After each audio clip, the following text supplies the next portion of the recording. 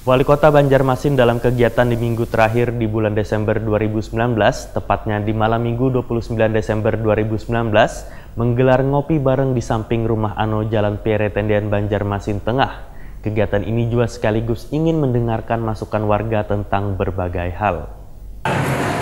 Wali Kota Banjarmasin Ibnu Sina dan Wakil Wali Kota Banjarmasin Hermansa dalam kegiatan di minggu terakhir di bulan Desember 2019, tepatnya di malam minggu 29 Desember 2019 sekitar pukul 20.00 Wita, menggelar ngopi bareng di samping rumah Ano Jalan Peretendean Banjarmasin Tengah. Kegiatan yang mengangkat tema catatan akhir tahun Kota Banjarmasin 2019 ini kadang hanya dihadiri seluruh kepala SKP di lingkup Pemko Banjarmasin, tapi turut pula hadir sekitar 25 komunitas sebanjarmasin.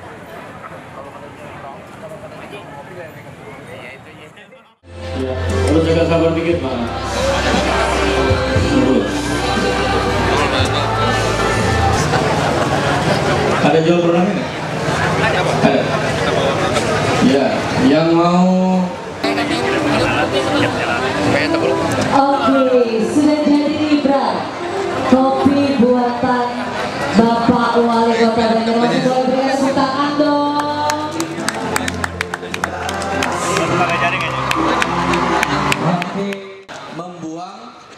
Wali Kota Banjarmasin Ibnu Sina Takuni Prima TV memedahkan kegiatan kopi bareng ini sengaja digelar sebagai refleksi akhir tahun untuk menyampaikan progres serta mendapatkan saran wan masukan tentang hasil pembangunan di tahun 2019 wan yang akan dilaksanakan di tahun 2020 nanti. Pemerintah Kota Ujar Ibnu Sina ingin mendengarkan masukan warga tentang berbagai hal sehingga sepahit apa pun kritikan warga harus diakomodir tetapi warga pun harus tahu bahwa Pemko Kota juga sudah melakukan berbagai macam prestasi telah diraih Pemko Banjarmasin ujar Ibnu Sina sangat terbuka dengan segala macam masukan dan kritikan yang diberikan warga untuk kemajuan kota Seribu Sungai ini. Politisi PKS ini pun menegaskan berbagai hal tentang capaian kemajuan pembangunan di antaranya tentang banyu barasi, drainase, ratik, sertifikasi guru, honorer hingga tentang kesehatan. Terkait kesehatan, menurut Ibnu Sina, capaian pembangunan Rumah Sakit Umum Daerah Sultan Suryansa wah ini telah mendapatkan sertifikat akreditasi Umadia atau bintang 3 setelah beroperasi 4 bulan. Artinya, sumber daya manusianya sudah cukup unggul untuk berkembang lebih jauh.